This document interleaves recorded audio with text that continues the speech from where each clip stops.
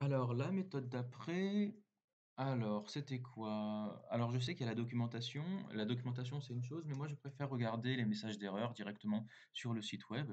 Heu, pour moi, c'est un peu, heu, voilà, c'est un peu ma formation, heu, TDD, Test Driven Development. Donc la formation TDD, c'est en gros, c'est tous les bugs que vous avez, c'est tous les messages d'erreur qui vous, qui vous aident à avancer. Un peu comme dans un jeu vidéo, c'est quand vous avez tous les ennemis, heu, qui sont là, que vous savez que vous êtes sur le bon chemin. Bah, voilà, moi en test driven development, c'est à peu près la même chose. Moi, je résous le bug qui est devant moi jusqu'à ce que ça marche. Donc là, je vois, hop, voilà, donc je regarde maintenant le prochain truc qui est rouge. Alors lui, c'est quoi? Donc c'est une requête rouge qui n'a pas marché. Voilà, donc il a fait un get sur API products et il n'y a pas eu de réponse. Bon, et ben dans ces cas-là, ça veut dire qu'il faut qu'on fasse un get sur API products.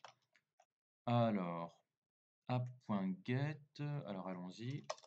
On va faire app.get. Donc c'était slash API slash product. On n'avait pas déjà fait ça avant? On avait déjà fait API product, c'était sur le même endpoint, mais c'était une méthode différente, puisqu'avant c'était post, maintenant là c'est get. Ok, et qu'est-ce qu'on va lui mettre?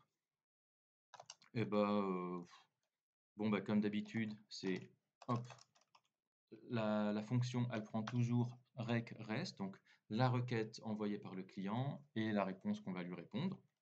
Voilà. Euh... Alors, attendez, hop. Bien. Qu'est-ce qu'on va lui dire? Bah, euh, rest.send, euh, voilà les produits. On va voir ce que ça donne. Alors, je teste. Ah, mon serveur, il a du, met du temps à répondre. Ah, il ne il marche pas.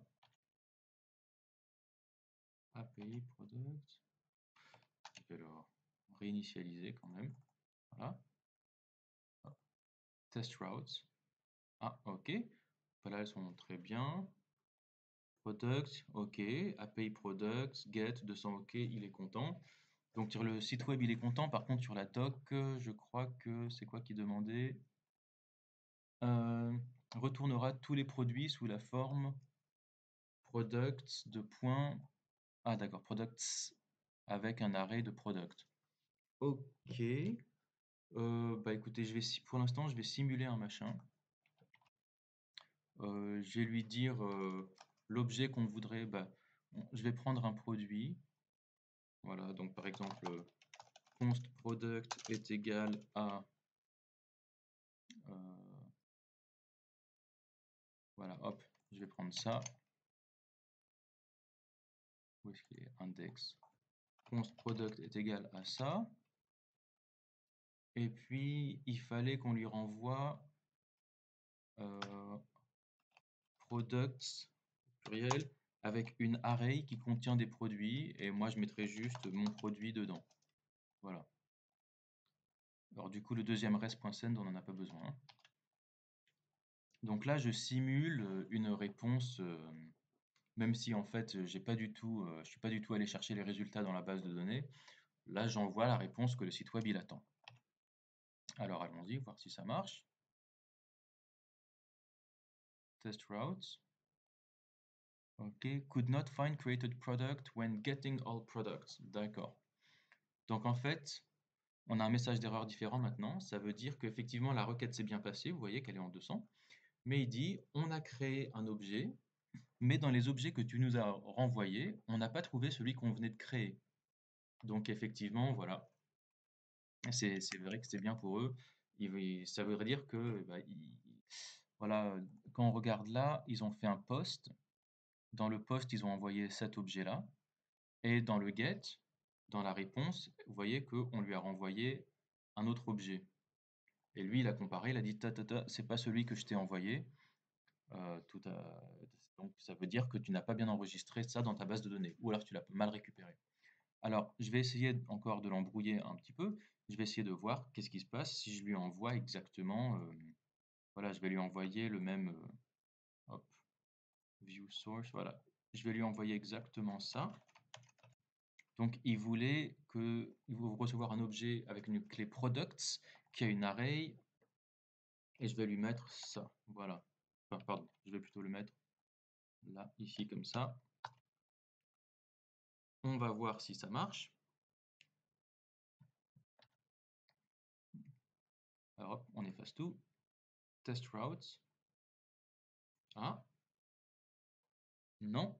Donc ça, ça veut dire que il n'est pas content. On va voir.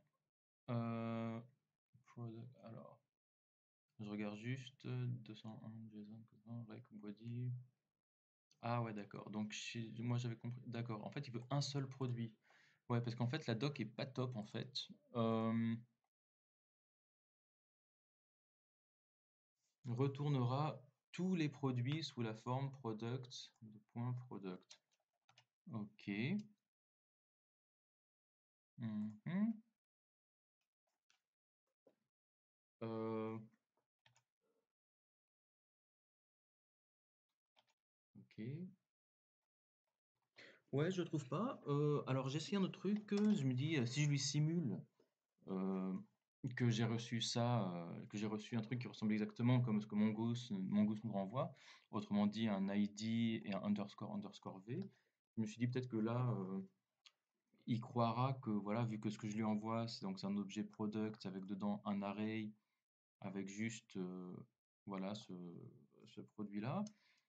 Bon, il y a forcément ce qu'il a forcément ce qu'il attend dedans. Donc on va voir. Je me suis dit est-ce que ça pourrait marcher ça? Voilà. Je dis test. Non, voilà. Et lui il me dit non, on me la fait pas moi. Donc ça veut dire que, alors je sais pas du tout comment le site web il est en train de, vérifier que c'est bien quelque chose qui était dans la base de données. Peut-être qu'il ce qu'il vérifie c'est que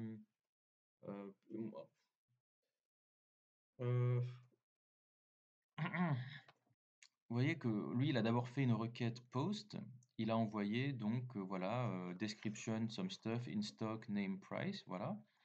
Et ensuite, il a fait une requête get pour voir qu'est-ce qu'il pouvait recevoir. Et il a reçu une array avec notamment, avec dans l'array, bah, justement le même, voilà, le même objet que je lui ai envoyé. Mais lui, pour lui, il comprend que c'est pas, qu'on n'est pas passé par la base de données. Alors je ne sais pas comment il fait pour savoir qu'on n'est pas passé par la base de données. Je pense que ça doit être peut-être un... Ah, peut-être qu'il manque un object ID. Oui, ça doit être ça. Je pense qu'il lui manque un object ID. Je ne sais pas. en tout cas, le site web est suffisamment intelligent pour comprendre que j'ai cherché à l'arnaquer. Donc ce que je vous propose, c'est qu'on va passer par... on va faire un vrai appel en base de données. Donc on va faire ça dans la vidéo d'après. À tout de suite.